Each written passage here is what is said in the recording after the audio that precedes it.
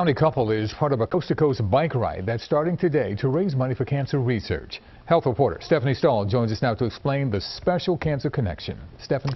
Well, Yuki, this couple will be riding with heavy hearts for the many cancer, for the many family members who have died from cancer. But they are on a mission for the V Foundation, and that V stands for Victory Over Cancer.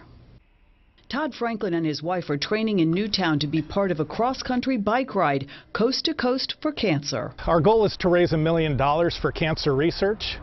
With my family history of cancer, personally, I'm, I'm riding for many of them in honor of them. Todd's family history, a remarkable number of loved ones diagnosed with different cancers, including his father, brother, and late wife, the mother of his two children. I want to raise enough money to make sure that my kids don't become the fifth straight generation of dying of cancer. Todd will join more than 230 fellow Bristol Myers Squibb employees, riding up to 80 miles a day over three days, contributing to nearly 3,000 miles from Oregon to Long Branch, New Jersey. The training's actually been quite difficult. Todd's segment will be from Denver, Colorado to Kansas City, Missouri. I know the fight that my family went through when they were battling cancer, and I figure if they can do that fight, I can make sure I can do this part of the ride for them. Todd's wife Kelly, also with BMS and riding to honor her family members with cancer, she'll pedal from Salt Lake City to Denver, where she'll pass the baton to Todd. Not only am I riding for family, I'm riding for current patients as well that are battling this disease.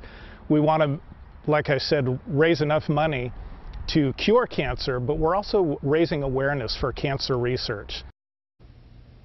And for seven years now, hundreds of employees from Bristol Myers Squibb have raised more than $7 million in this Coast to Coast for Cancer ride.